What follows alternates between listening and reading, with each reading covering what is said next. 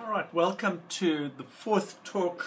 Um, this is not specifically, uh, this is tangential to TMDLs, but this is just uh, something that I wanted to talk to you about in terms of your calculating a load duration curve. If you remember earlier on in the year or earlier on in the semester, we looked at a, a flow duration curve uh, and so it was purely flow. Now, load adds a, a, a, dimension onto it.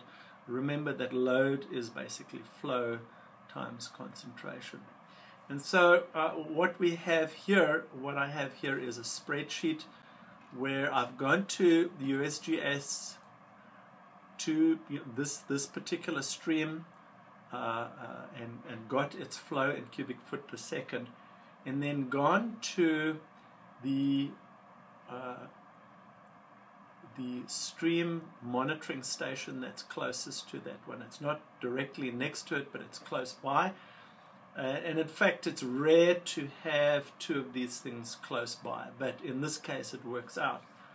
Um, so you've got a place where you've got a flow, and then you've got a, a place where you've got a monitoring station. So you see the dates and then what I the, the tedious part of this is you I got the data and then I matched the data up with a particular date. So for instance, we know from STORET for S046 we got a fecal coliform of 540 CFUs per 100 mils on this particular day where your flow was uh, 34 cubic foot per second. So basically that's what we did there and I'm going to give this to you so you'll be able to so you'll be able to see that. Um, if we go to the next if we go to the next uh, tab, the intermediate part is well what do you do? Well it's not that dif different to what we did with the um, uh, with the flow duration curve. We basically took these two columns and we went ahead and ranked them according to your average flow, starting from lowest to highest, starting going from about 1 to you know 1880 cubic foot per second. So that's uh, that's basically what it is and what was that? That's about 2,834 bits of data uh, that you have, or data data points that you had, and now you see that uh, you've got different. Um, you've just arranged these, and as as you've arranged your your flows, your dates are no longer in order, and you can see then your concentrations of uh, E. coli then fecal coliform then basically follow. So these are still corresponding with the date, but you've arranged everything now based on your USGS flow. The next thing you do is you're going to go ahead and rank them. And if you go ahead and hit that uh, ranking, uh, it's going to be B2. Uh, or if, if I, let me just do this. If I do this equals rank, you basically you you select your number and then you actually look at your reference. And the reference in this case the number is going to be 1 but your reference is dollar $B dollar 2 to dollar $B dollar 2 835 so when you copy these things down your reference will be B7 but the re uh, your your number will be what you're looking at compared to your reference will still be will be B7 but your dollar signs are going to uh, anchor that reference uh, down. So basically this provides your rank in terms of flow from lowest to highest over here. Uh, for instance we've got a flow of 1 well it's just going to be ranked uh, the same 2890 so if you remember back to your um, flow duration curve, you've got an, an exceedance calculation, which is basic statistics, statistical, which is based on your rank. So it's 100 times your rank divided by the number of data points. In this case, it's 2834 plus 1. And that is going to be your flow exceedance. So essentially, now I've, I've just rounded it up or down to 99. Essentially, what you're saying is that there's a 99.47 or a 99% probability on any given day that your flow, and given no other information, that your flow will exceed one cubic foot per second.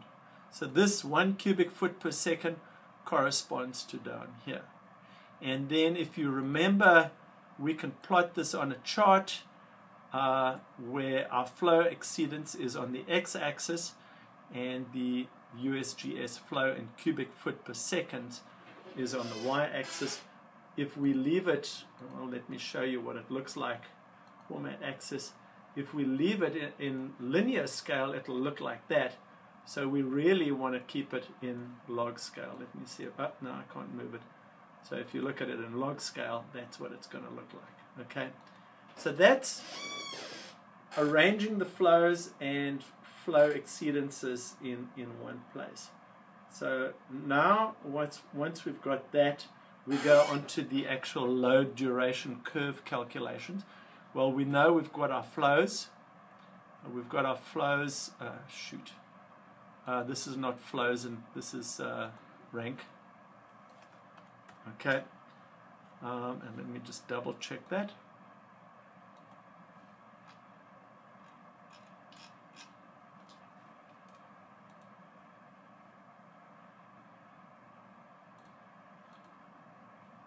Oh, sorry. It is flow. Escape. Forgive me. It's flow in meters cubed per day. Uh, and what I did over here was kind of just have some, let's just put these out of the way here. Flow in cubic meters per day. So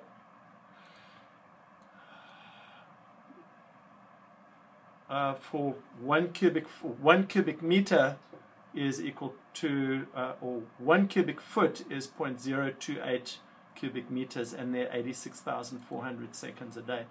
So over here we are taking our flow in cubic foot per second multiplying it by this and then by this and you're getting 2,447. So that's uh, that's basically what's going on over here and you're basically getting flow in cubic in terms of cubic meters per second. Now here's the kind of part that you'll need to understand. We now multiply the flow cubic meters per day, sorry, not cubic meters per second, cubic meters per day times the criterion. And this is it over here. Um, now your criterion is 400 um, CFUs per 100 milliliters. Uh, I've done a few little calculations here, but it's 400 CFUs per 100 mils, but it's actually 4 million CFUs per cubic meter. So you're multiplying your flow times your criteria, which is 400 CFUs. So you're saying the load for a given flow of one cubic foot per second, your load may not exceed 9.79 times 10, 9.8 times 10 to the 9 CFUs per day. CFUs or fecal coliforms per day. Now, I just put my margin of safety in, uh, TMDL minus my margin of safety.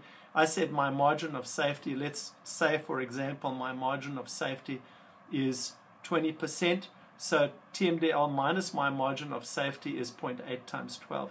Let's say, watch this chart here now. Let's say my margin of safety is 50%. So 1 minus 0.5 is that. Let's uh, propagate that down.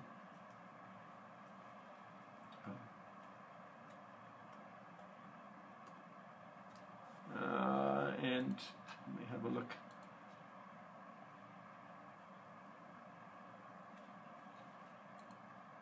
Gonna have to propagate that the old-fashioned drag and drop way because I don't know the shortcut keys in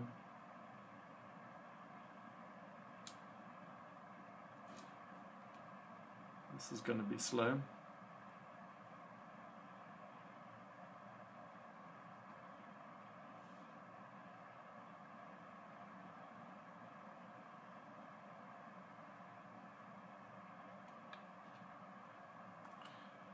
Okay.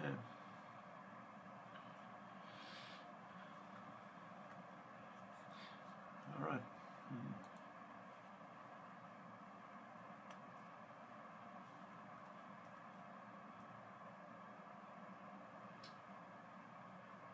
Hmm. Hmm. Okay.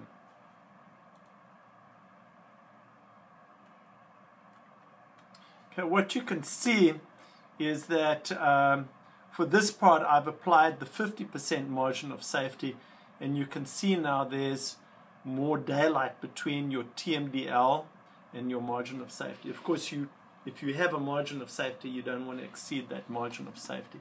So I'm going to undo there. I just don't know the shortcuts in uh, my MacBook for Excel. so you've got that, uh, and so basically you can plot this on a curve. Now, if you go look at your this, this was in terms of flow, but this over here will be in terms, these axes now are in terms of CFUs per day. And you can see now you've got these awfully, awfully big numbers. Next thing you can do is calculate your actual load per day. And here you're going to multiply your um,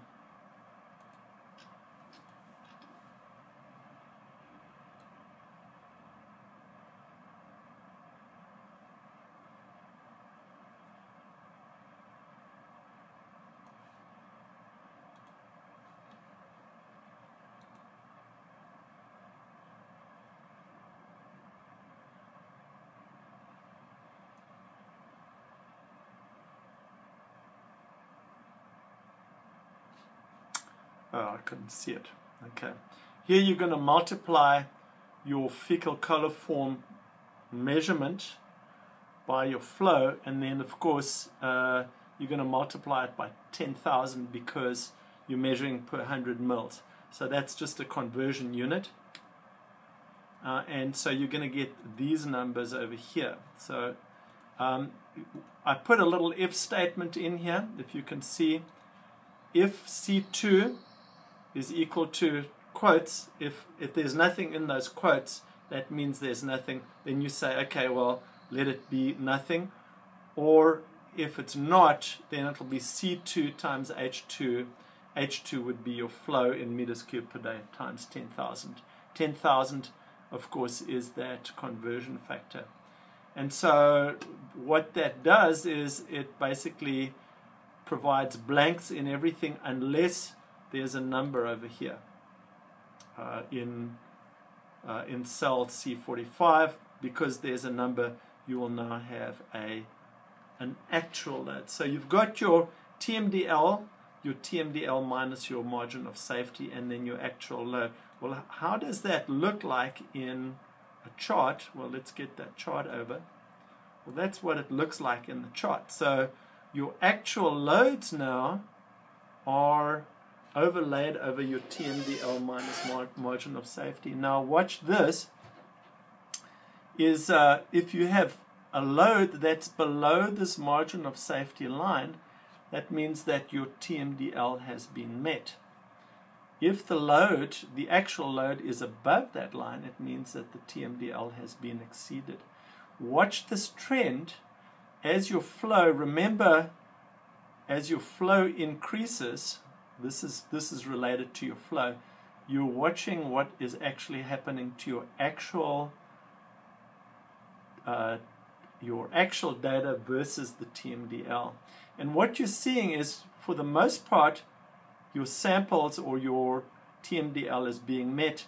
But where it's being exceeded uh, it starts being exceeded in the middle, but for every high flow event, your TMDL is being exceeded. So uh, a load duration curve gives you a little bit of an indication of what this looks like. Now we've also had a look, let's add our waste load allocation to this whole thing. And what you can see now is um, your waste uh, your waste load allocation is a that's coming from a particular if you have a look in the spreadsheet whoop if you're looking in the spreadsheet here um, your waste load allocation comes from a a specific um, wastewater treatment plant that produces so many cubic meters per day at so many cubic foot per 100 mils and so that's how many fecal coliform it has per day. So your waste load allocation is going to be a constant and it's not going to depend on how much flow you have in the river. So your actual load allocation that you can give for a given flow is then going to be the difference between the TMDL minus the margin of safety minus the waste load allocation because if you remember your TMDL is waste load allocation plus load allocation plus margin of safety. So graphically in this area uh, the area between this blue line and the red line is what you can call your load not load load allocation. So I hope that this gives you an indication again the um, the load duration curve gives us an idea of where we are likely to see our exceedances. And typically, what we're seeing right now is if we had to analyze, maybe 10% of our samples would exceed here, maybe 20 to 25 would exceed here, but this is where about 100% exceeds. And so it's saying, well, in this case, and typically where non-point source pollution prevails uh, in high flow situations, uh, your TMDLs, your bacterial concentrations are going to go up. If it's, or, or whatever, your pollutant concentrations are going to go up. If your system is dominated by a point source, the higher your flow, the lower your pollutant concentration is going to be. Um, I'm going to send this out and hopefully you can learn from this um, and I'd be happy to ask, answer any questions. I, I suspect that you will probably be seeing one of these things in the exams as well. So be aware, be forewarned. You can ignore this right now, but uh, if you kind of get familiar with this, you're going to sort of avoid anxiety uh, in your exams if I if I throw one of these at you. Okay, uh, guys, thank you very much, and look forward to seeing you next week. Bye bye.